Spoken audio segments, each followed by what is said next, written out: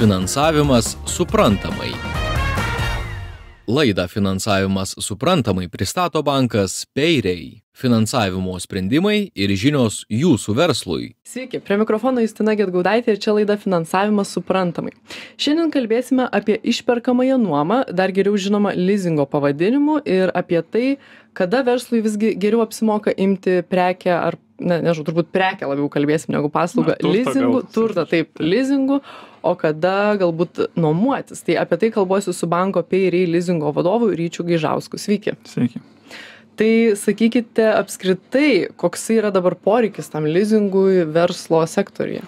Jo, iš tiesų pats kaip e, leasingo produktas jis yra pakankamai paprastas, e, gerai suprantamas rinkoje, užtat jis yra labai plačiai naudojamas ir iš tiesų dauguma įmonių noriai jo naudojasi ir, ir, ir tikrai tas matosi iš to, kad na, pats leasingo portfelis e, šiuo metu Lietuvoje sudaro apie 3 milijardus. Tai, um, sakykime, tas pats jo panaudojimas yra pakankamai platus ir, ir pačios įmonės, e, turėdamos kažkokį tais poreikį atsinaujinti techniką, e, atsinaujinti kažkokius tais įrengimus, modernizuoti, tai tas įrankis, kurį gali naudoti tam modernizacijai arba atnaujinimui, tai yra būtent tas leasingo produktas, kuris, kuris tam ir yra pritaikytas, nes jis pats kaip leasingas, jisai, leasingo produktas jis yra skirtas būtent technikai, įrangai, kažkokiem tais mobiliems įrengimams. Šiuo metu verslas, kaip minėjau, nori naudojasi, bet e, jeigu taip žiūrėt, e, paskutiniai metai pakankamai buvo tu- turintis daug iššūkių Mhm. įmonėms ir turim pavyzdį, COVID buvo, kur, Taip. na, įmonėm, sakykime, toks e, nežinomybė atsirado, nežinojo galbūt, kas bus, ko tikėtis, e, na, bet, sakykime, galbūt nemaža dalis ar didžioji įmonių dalis e, pakankamai greitai perprato ir prisitaikė prie tų, sakykime, naujų, e, naujų sąlygų ir, ir iš tiesų matosi, kad būtent tie sekantis metai po, po, po COVID-21, na, iš tiesų tai yra augimas lyginant su 20, su 20 metais. Vėlgi turim naują iššūkį. Taip, tai, norėjau klausti, kokia dabar Jo, tai yra ta karinė situacija, kas Taip. yra, kas yra Ukrainai, tai vėlgi įmonėm vėl naujas toks kaip šokas, vėl neaišku, e, kas, kas bus, e, vėlgi kažkur tai užsidaro duris, įvedamos sankcijos, e, reikia galbūt vėlgi naujo, ieškoti naujų krypčių, naujų rinkų. Mhm.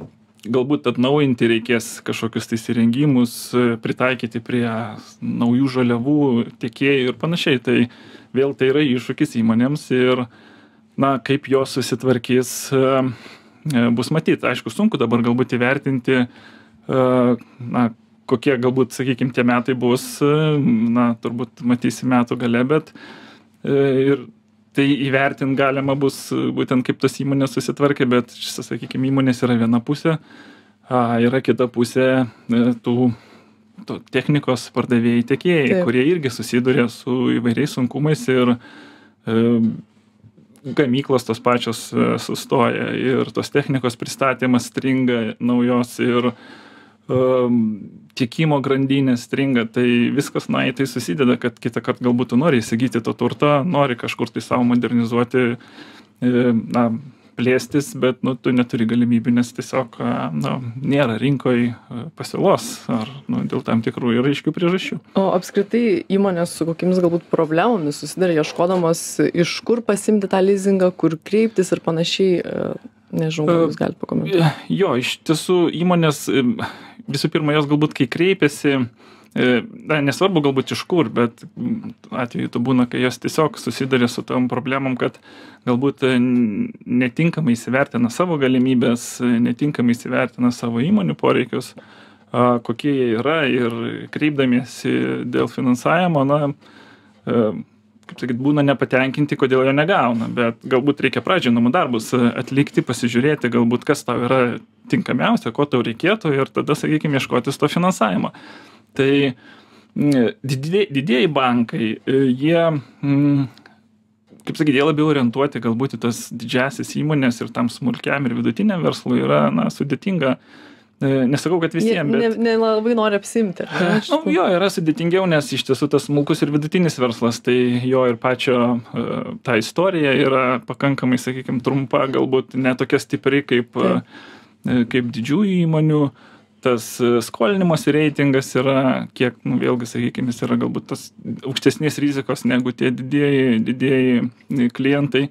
Dėl to Lietuvoje yra kūrėsi nemažai alternatyvių finansuotojų. Tai šiuo atveju vėlgi, jeigu, kaip sakyt, e, negauni vienoje vietoje, arba, sakykime, aš sakyčiau, visada reikėtų pasitiks, pasitikrinti ir na, turėti kažkokį palyginimą, tai visada galima na žiūrėti kas yra rinkoj kokie yra pasiūlymai ir surasti sau tinkamą sprendimą tai ar tai reiškia kad įmonė kuri ieško lizingo turėtų tarkim e, iš karto prašyti na kreiptis į kelis bankus ar kelis e, tuos lizingo tiekėjus a jo iš tiesų galbūt siūlyčiau aš ne neapsiriboti ties vienu mhm. nes na visų pirma tai yra ir sugaištas laikas kai tu pralauki ir gauni neigiamą atsakymą arba nebūtinai neigiamą bet E, kuris tavęs netenkina pasiūlymas, tai visada būtų gerai bent jau 2-3 kokius e, turėti ir na, visada pasilyginti, nes nu, ne visada yra, e, na, kaip aš sakau, ne visada pigiausia prekė yra geriausia. Tai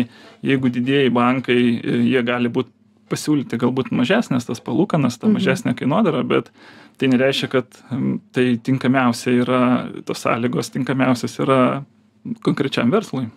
E, jūs užsiminėt, kad vat, e, pralauki galbūt to atsakymo ar ne, mhm. kol tu galbūt sugaišti savo laiką, bet ar kiek įmonėms yra svarbu apskritai, kada jos gauna tą atsakymą ar ne, reikia laukti, nežinau, mėnesį laiko, savaitę, uh, dieną? Jo, į, įvairių tų situacijų yra, įvairių tų poreikių yra, iš tiesų yra tikrai daug atvejų, kai įmonėm labai svarbu gauti greitai atsakymą mhm. ir dar sakyčiau, netgi yra galbūt įmonės, kurios kartais e, daro tą skubotą pirkimą, gal ne visada irgi apgalvoja. Tai tas na, sprendimas kartais būna galbūt e, na, nepamatuotas, bet, bet nesakau, kad visais atvejais taip yra. Taip. Kitą kartą reikia greitai čia dabar, nes išvažiuoja transportas, nauji užsakymai, reikia greitai vienokio ar kitokio turto ar technikos įsigyti. Tai tas yra svarbu ir bet vėlgi rinkoj yra įvairių situacijų ir tikrai girdisi, kai na, klientai negauna savaitę, dvi, būna ir mėnesį laiko atsakymų. Tai, nu, kaip sakyt, visada yra, visada yra alternatyvų. Ir mm, jeigu, sakykime, vienas bankas mm, neduoda, tai eik į kitą. Tai neduoda tenai, eik į kažkokią alternatyvų finansuotoją, kad bent jau, na, turėtum kažkokį sprendimą tam kartui ir galbūt tu kitą kartą sumokėsi daugiau bet e, tu darysi verslą dabar, Taip. nei tu lauksi ilgai ir prarasi gal, galbūt, galbūt. Jo, galbūt prarasi kažkokį ar klientą, ar, ar kažkokią tai galimybę. Tai visada sakyčiau ir siūlyčiau, na, turėti porą variantų, kreiptis į keletą finansuotojų ir iš jų surinkti tinkamiausią. E, taip, aišku, galbūt tas negalioja gal didiesiam, nes, na, jie turi tam tikrus limitus mhm. bankuose, jie ten greitai ir dabar gauna, bet jeigu kalbant apie tą smulkų vidutinį verslą, tai, na, jiem aš manau, na, tikrai palankiausia būtų turėti keletą opcijų ir iš jų išsirinkti. Dar jūs prieš tai užsiminėt, kad įmonėms taip pat reikėtų pačioms pasidaryti kažkokį tuos namų darbus, ar ne? Ir, na, kreipiantis dėl lizingo, kokie yra tie namų darbai, galbūt turit kažkokių patarimų įmonėms? Tai aš irgi, kai jau, kaip ir minėjau, tai, na, pasidaryti galbūt pradžiai, įsivertinti galbūt tą poreikį, koksai, koks jis yra. O kaip jį įsivertinti? Nežinau, pagal kokius aspektus. Tiesiog pažiūrėti, ar tau labiau apsimoka imti tą lizingą ar nuomotis. Ja, tas tas irgi yra kad sakykim gal tam tikrais atvejais yra geriau nuoma bet jeigu grįžtant tai na vėlgi pasižiūrėti poreikius ar tikrai reikalingas toks turtas mhm. ar galbūt gali būt mažesnio galingumo jisai bus pigesnis ir galbūt lengviau gausi finansavimą pasižiūrėt savo pačios įmonės finansus ar tu pajėgus įsi įsigyti ir dengti tuos mhm. įsipareigojimus kur na po to atėjus į banką tiesiog bankas tau pasako kad na tu nepajėgus dengti tų vienokių ar kitokių įsipareigojimų būsi tai šiek tiek tą pasižiūrėti ir e, vėlgi tas yra, kaip sakyti, alternatyva yra nuoma. Ir. Mm, šiuo atveju, sakykime, na, yra tokių e, galbūt įmonių verslų, kurie netgi bijo galbūt prisimti finansinių įsipareigojimų ir renkasi nuomą. Bet aš vėl sakyčiau, nuoma tai, na, irgi tai yra finansinis įsipareigojimas. Ir vėlgi, nuoma galbūt kada jinai, mano akimis, kada jinai yra tinkama ir, ir, ir ją geriau rinktis, tai jeigu tai yra trumpalaikiai kažkokie tais uh, sprendimai jeigu na įmonė laimėjo kažkokį konkursą reikia jam įgyvendinti kažkokias technikos e, trumpam laikotarpiui. Jeigu yra kažkoks projektas trumpalaikis kuriam e, na irgi reikia kažkokios papildomos technikos ar įrangos ir na po to tu tiesiog jos jau nebepanaudosi jeigu sugedo e, kažkokia tais technika ir reikia ir greitai pakeisti ją tai tas sprendimas kuris, manau, tikrai yra ir tinkamas tokiais atvejais. Na, gal dar paminėčiau ir tas jaunas įmonės, kurios neturi to, sakykime, to finansinio pajėgumo eiti į banką ir skolintis.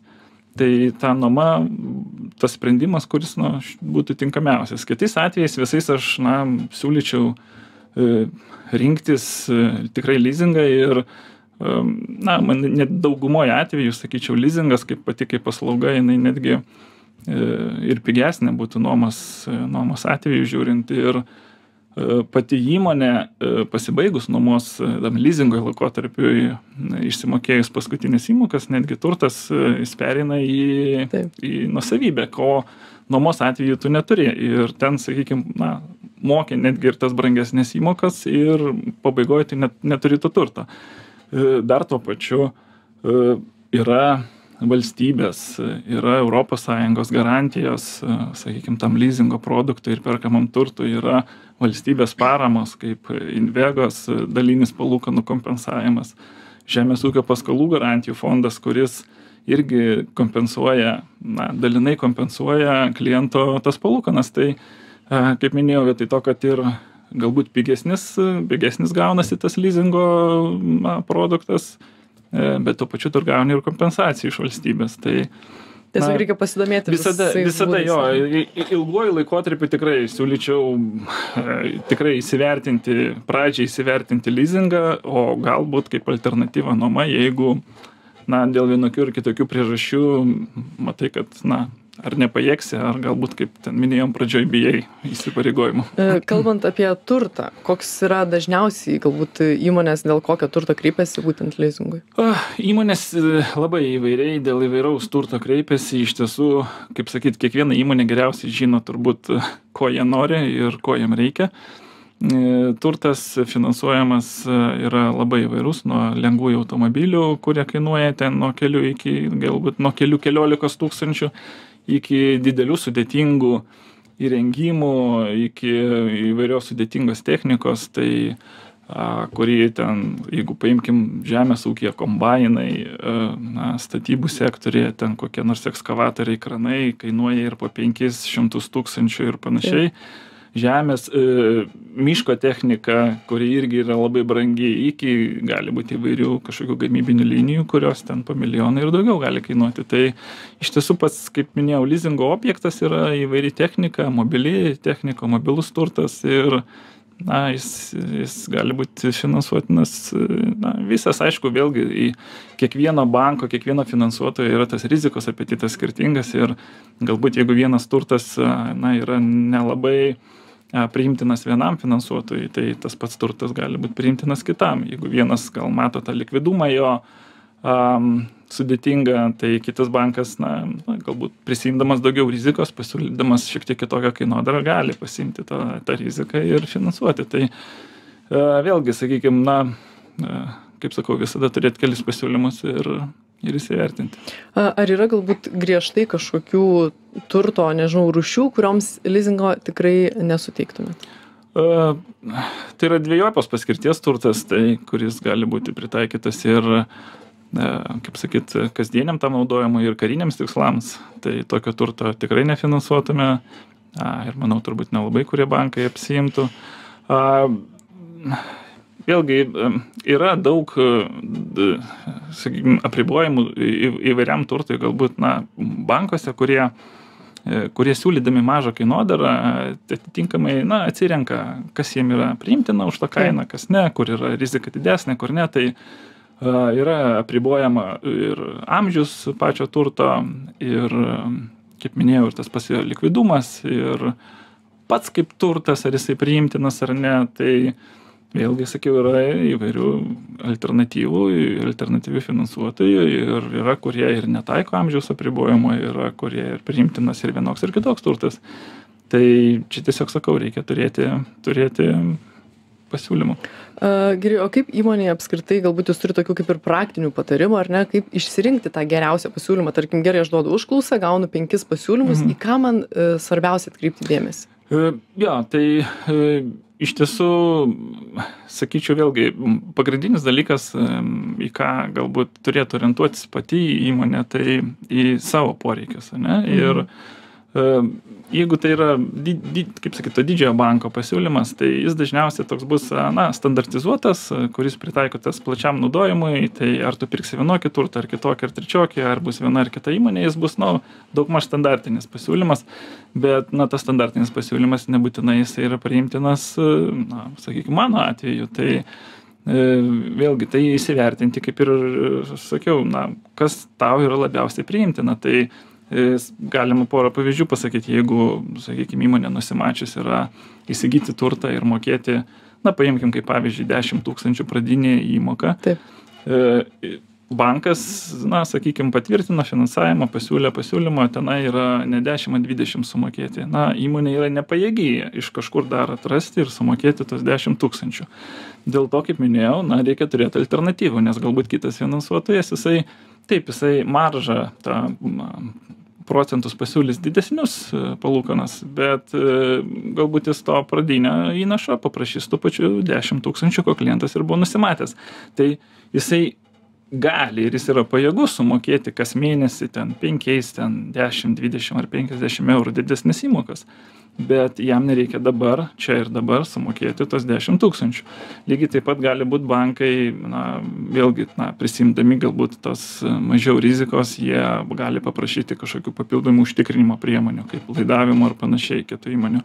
Mažas verslas nu gali jisai atrasti tą kas už jį palaiduos bet šiek tiek sunkiau. bet gali ir neatrasti jo. Tai tenai vėlgi užstrigs nes nu jis neturės ką pasiūlyti. Taip pat gali būt na įmonė matydama bankas matydamas, kad na, tai yra rizikinga ir na, mažins tą, sakykime, įsipareigojimų laikotarpį. Nu, tarkim, nuo penkių metų gali sumažinti iki trijų metų, bet vėlgi tai iškelia papildomai, papildomus kaštus įmoniai, nes jai reikia mokėti didesnės įmokas ir vėlgi jinai susiduria su to, kad jinai galbūt nepajėgi yra tą daryti, tai vėlgi, na, ieškoti alternatyvų. O kiek, įmonės, kiek įmonėms yra svarbus lizingo saugumas? Galbūt apie tai galėtumėt kažką pakomentuoti. Uh, na pats kaip sakyt saugumas lizingo produktas jis yra pakankamai paprastas kaip minėjau pradžioj ir suprantamas iš tiesų a ta e, rizika kurią prisiema iš tiesų pats pats klientas tai jisai na na turi susimokėti kaip sakyt tą pradinę įmoką a turi tuos mėnesinius įsipareigojimus turi tą turtą apdrausti ir na kaip sakyt pats pats tas modelis kaip lizingo jis yra aš manau pakankamai saugus tiek pačiam finansuotojui tiek ir tas sakykim lizingo gavėjai nes pats finansuotojas tuo laikotarpiu kai jisai na suteikia suteikia paslaugą klientui tai jis yra to turto savininkas ir jeigu kažkurioj vietoj ar taške sakykim klientas nėra pajėgus dengti tų įsipareigojimų nu tai tas turtas keliauja į na kaip sakyt į banko nuosavybę ir na jis tiesiog tą turtą realizuoja ir padengia tuos likusius nepadengtas įmokas tai na iš tos sakykim pusės tiek kiek pačiam bankui kaip lizingo produktas tiek ir pačiam investuotojui jis jis klientui jis yra jis yra na sakykim toks saugus modelis dėl ko ir jeigu lyginant banko teikiamas tas lizingo produktas su kredito tai jis netgi ir yra tos palūkanos mažesnės nes na sakykim ta rizika pačio kaip kaip lizingo produkto yra na gerokai mažesnė negu tai yra kredito sutartis. Na ir laidos pabaigai galbūt jūs turit kažkokį, tai nežinau, ar išvadą galim padaryti, ar kažkokį tai žodį, ką vat, įmonėms smulkiam galbūt verslui reikėtų žinoti. Jo, kadangi e, ta tema, e, sakykime, ta nuoma ar, nuoma ar leasingas, tai e, vėlgi aš sakyčiau, na, visada įsivertinti galbūt klientui, kas, kas, jam, kas jo įmonė yra naudingiau vienais atvejais ką ir paminėjau galbūt ir ta pati nuoma yra kaip sprendimas kitais atvejais na lizingas nu, vienareikšmiškai yra turbūt palankesnis sprendimas. Ir, na, kaip sakau, visada turėti sprendimus kelis, įsivertinti vienas kitas sąlygas ir, na, atrasti savo tą tinkamiausią būdą e, įsigyti ten vienokį ar kitokį turtą ir, kaip sakau, galbūt turėti galimybę netaikytis prie banko, sakykime, to pasiūlymo, o, sakykime, gauti individualų pasiūlymą pritaikytą prie tavo verslo. Ir tuo pačiu dar norėčiau paminėt rytoj startuoja e, didžiausia žemės ūkio paroda lietuvoj tai mes lygiai taip pat tenai būsim dalyvausim. Tai kas bus galit e, užeit e, pašnekėsim pakalbėsim ir galėsim padiskutuoti daugiau Tai ką, aš pabaigsiu mūsų pokalbį, noriu padėkoti banko Peirį lizingo vadovui Ryčiui Gižauskui už visą jūsų suteiktą informaciją, tai ačiū Jums. Priminsiu, kad čia buvo laida Finansavimas suprantamai, prie mikrofono Justina Getgaudaitė. Geros dienos. Finansavimas suprantamai. Laidą Finansavimas suprantamai pristato bankas Peiriai. Finansavimo sprendimai ir žinios jūsų verslui.